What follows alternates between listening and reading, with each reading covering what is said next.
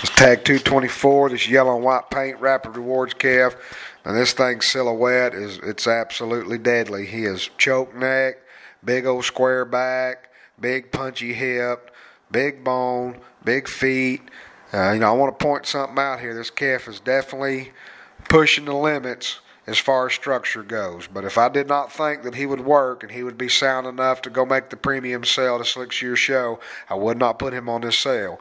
But I want everybody to be aware that if you take this calf home and just feed the crap out of him, it's probably not going to work.